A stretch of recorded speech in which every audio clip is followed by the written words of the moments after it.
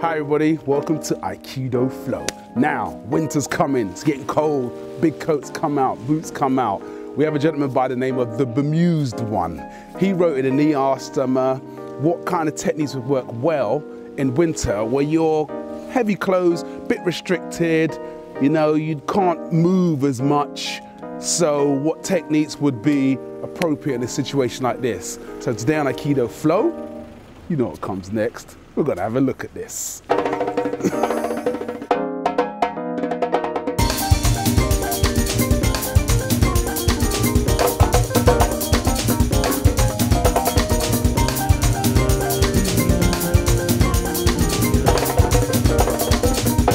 Okay, now in Aikido we have certain techniques, a lot of techniques that require a lot of movement. Okay, now you see here I ride a motorcycle. It's my nice warm motorcycle jacket, got my trousers, my boots on. I'm quite restricted in my movement, so I wouldn't attempt something like a Shihonage, which does a lot of movements, or an Iriminage, lots of movement in those techniques. I wouldn't try to attempt that because, you know, I might get hot, might get sweaty. I'm still gonna smell good because I always smell good, but hey, you know, too much movement, too many clothes, not a good combination. So we're gonna show you some stuff that will work to your advantage if you're really kind of wearing bulky clothes. Okay, first technique, okay? Tenchinage, brilliant, okay? Because I'm bulked up, but I'm using that to my advantage. I'm quite heavy, I'm quite restricted in my movement, so I'm gonna use this weight and extra bulk to just move forward, move in, and let my body weight do all the work for me. So he comes with attack, I just block it here, I'm moving in, and all I'm doing is I'm moving straight in here. I'm zigzagging behind him, and I'm coming here.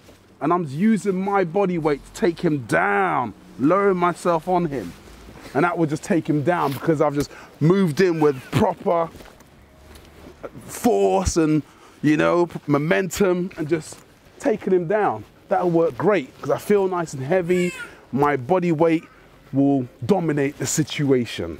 Okay, next technique, Sumiotoshi. Okay, now, again, I'm moving in. I'm using my body weight to my advantage. So I'm just moving straight in, using it. So he comes with attack.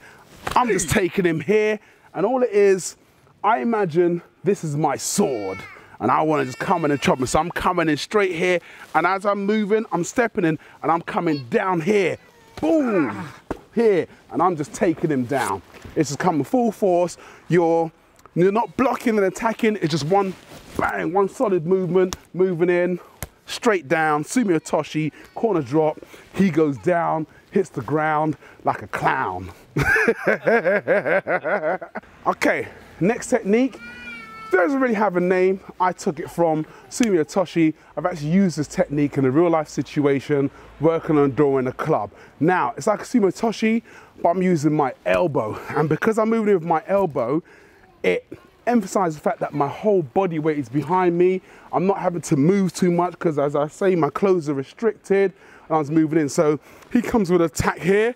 I'm just blocking here and I'm just gonna either hit him hard in his chest, in his face, but as I move, these two work together. Boom, and I'm coming in and hitting him hard with my elbow, moving straight in. That's guaranteed to take him down. Winter's coming you're not always dressed in such a way where you can do all these kind of lots of moving around. In Aikido, we have a lot of those techniques. So basically, I see it like this. If you're wearing a lot of clothes, you've got that extra weight, don't hesitate and move in straight. And then you'll take some people down. You know what I'm saying? Hope you enjoyed that. We'll see you next time on Aikido Flow. Let's oh, go. Yeah.